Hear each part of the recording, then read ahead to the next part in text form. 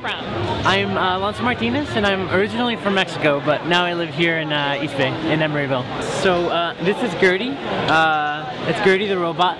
It's named after Gertie the dinosaur, which was the first sort of uh, an, 2D animation that had a lot of personality in it.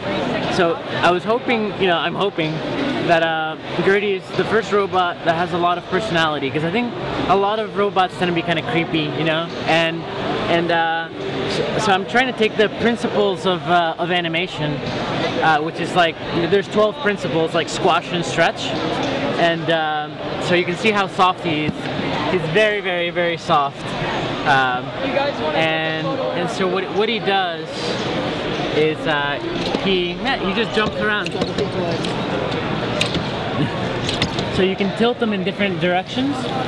And uh, he can start walking in which whichever direction you point him.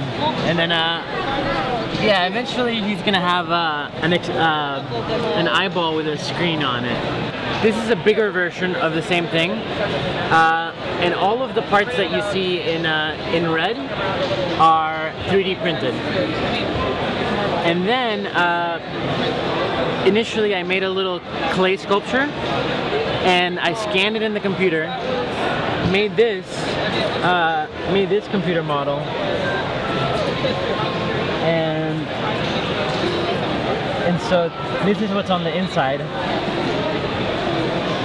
And so you can see the Arduino Pro Mini battery uh, levels, and then from there uh, I 3D printed a mold, and then uh, cast cast silicone out of it and so it, be, it, it, sort of it's this stretchy platinum silicone. I think my, my, my favorite reaction was just this feels alive.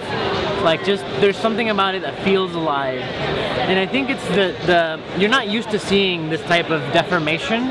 It's not a very common thing, so it catches your eye and and I don't know. I, it had a lot of uh, people said it had a lot of personality, and that's what I was going for. So I love to come to Maker Faire just because it's it's it's creativity, right? It's curiosity. I think curiosity is people that don't need to be doing thing, things, but they just have to because they're so curious about it.